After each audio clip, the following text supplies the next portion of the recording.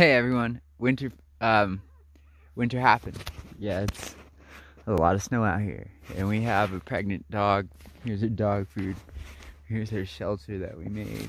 Um had decent timing. This is a lot, but we're alright. Our generator gave out. We're alright though. Um our door got stuck. our our door is frozen. Well, our door is frozen. but we're dealing with it and we're making the most of it. I was scared. I was so scared, honestly.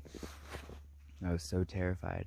I felt incompetent. I felt unprepared. I felt I felt like a loser, but we made it. And there's the sun and one more cold night and then we're out of this and back to work. I'm looking forward to it. Um, hope you all are doing well and God bless. Oh, baby.